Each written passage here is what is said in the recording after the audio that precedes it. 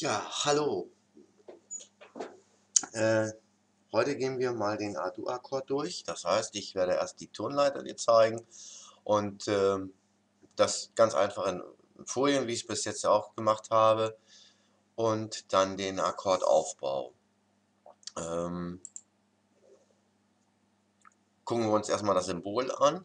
Wir sehen, dass der Zeigefinger auf der D-Seite liegt, auf der G-Seite liegt der äh, Mittelfinger und auf der H-Seite der Ringfinger, jeweils am zweiten Bund.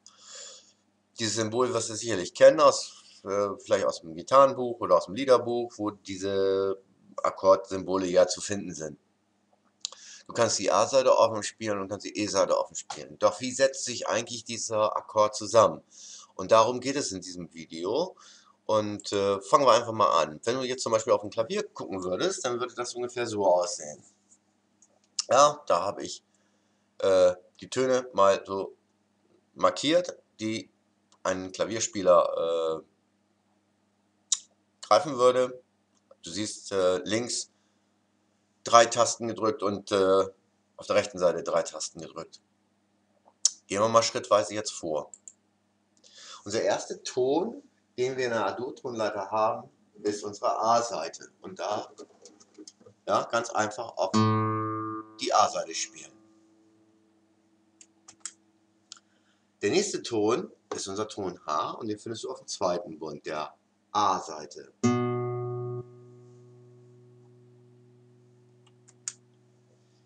So, und jetzt wird aus dem C ein Cis. Und du siehst hinter dem äh, C ein Kreuz. Das heißt also, dass dieser Ton um einen halben erhöht wird und somit gehst du einen Bund weiter. Am dritten Bund würdest du hier das C finden, am vierten das Cis.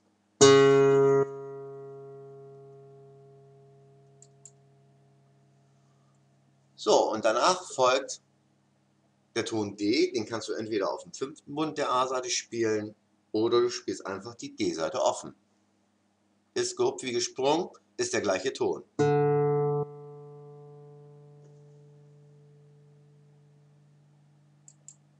Der nächste Ton, der folgt, ist das E. Den findest du am zweiten Bund deiner D-Seite. Jetzt kommt das Fis, also auch das F wurde um einen halben Ton erhöht. Und den findest du am vierten Bund deiner D-Seite. Und jetzt wird auch noch das G erhöht. Und am ersten Bund deiner G-Seite findest du den Ton Gis.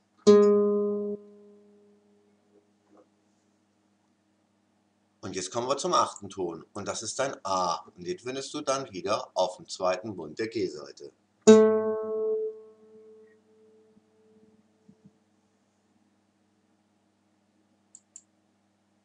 So, das sind deine ganzen Töne. A, H, Cis,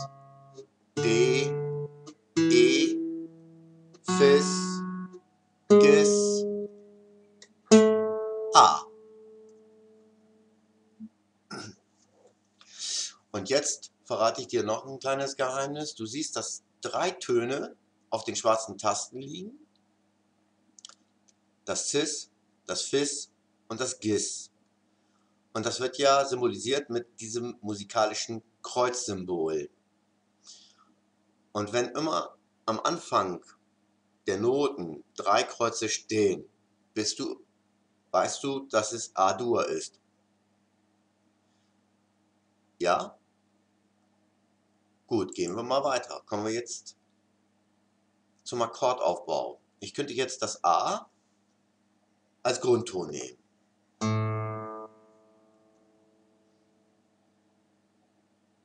Logisch, wir wollen ja auch einen A-Dur-Akkord spielen. Der nächste Ton wäre das Cis. Das greife ich am vierten Bund meiner A-Seite. Dann klingt aber jetzt nicht mehr die A-Seite. Gut, gehen wir mal weiter. Das ist das Cis ist unsere Terz. Das ist der dritte äh, Ton innerhalb dieser Tonleiter. A, H, Cis. Also am vierten Bund, wie ich eben schon sagte, unsere Terz. Hm, dann haben wir aber die A-Seite nicht mehr. Dennoch werde ich dir hier jetzt zeigen, wie es weitergeht. Und wenn ich jetzt am zweiten Bund greife, dann habe ich zumindest schon mal die Quinte und die Terz. A, H, Cis, meine Terz. A, H, Cis, D, E, der fünfte Ton, also Quinte. Woher hole ich mir jetzt aber meinen Grundton? Ich brauche ja A als Grundton. Und das könnte ich jetzt mir am fünften Bund der E-Seite holen. Dann hätte ich dort meinen Grundton. Und wenn ich diese drei Töne jetzt spiele, habe ich einen A-Dur-Dreiklang. Ja? So, das erstmal soweit. Das wäre aber für einen Anfänger sehr, sehr schwer zu greifen. Überlegen wir uns also, wo finden wir noch ein Cis? Und das findest du am zweiten Bund der H-Seite. Ja, ich spiele ihn jetzt mal zusammen mit dem äh, tiefen Cis, damit du dir das mal anhörst.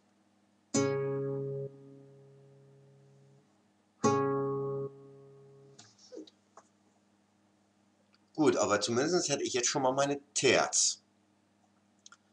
Und jetzt suche ich mir meine Quinte wieder raus am zweiten Bund der D-Seite.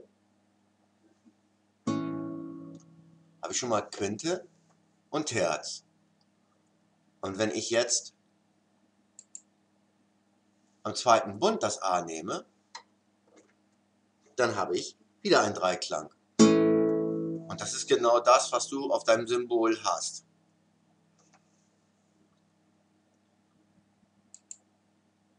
Und jetzt kannst du die A-Seite noch mit als Bass nehmen.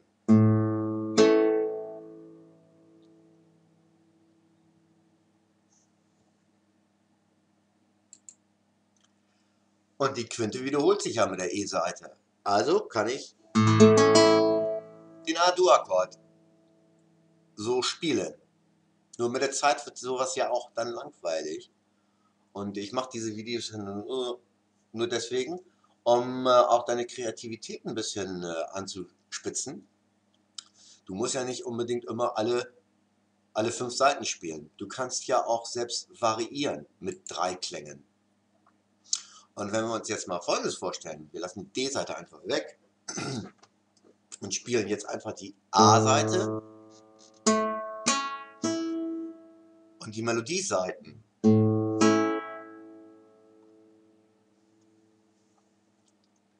Dann klingt das so. Und jetzt machen wir mal eine kleine Übung. So, welchen Ton habe ich da? Richtig, unsere E-Seite. Und darunter liegt logischerweise unsere A-Seite.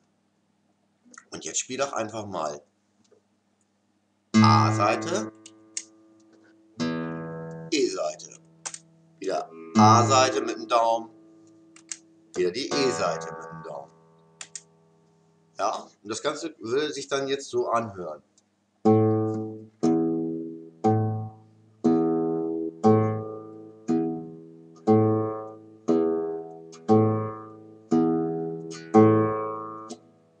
Und so weiter und so fort. ja? So, und jetzt könntest du, äh, wenn du die A-Seite gespielt hast, dann das auf einmal spielen.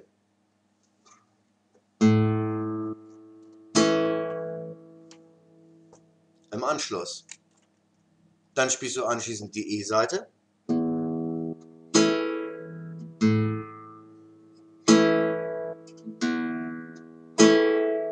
Wieder die A-Seite. D-Seite. Oder du variierst und sagst einfach, du lässt die D-Seite weg und spielst nur die Höhen.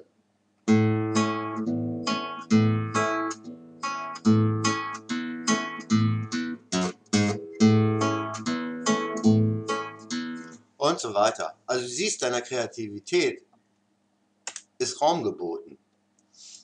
Also einmal die E-Seite und dann das spielen. Oder eben halt die äh, D-Seite dann weglassen. So, und jetzt weißt du, wie sich dieses Akkordsymbol äh, zurecht äh, schustert. schustert das gut. Aber jetzt weißt du, wie es sich zusammensetzt. Ja? Du hast auf Z hast du deine äh, Quinte, auf M hast du deinen Grundton und auf dem Ringfinger liegt deine Terz. Und jetzt wünsche ich dir viel Spaß beim weiteren Ausprobieren deiner äh, Kreativität freien Lauf zu lassen und taste dich heran. Das ist mein Rat, den ich dir geben kann. Nichts geht von heute auf morgen. Ja, lass dir Zeit, aber probier einfach aus. Okay, in diesem Sinne, ich hoffe, dieses Video konnte dir helfen und äh, ich würde mich freuen, wenn du demnächst dann wieder einschaltest. Schaltest. Bis dahin bleibe ich dein Hossi und ciao.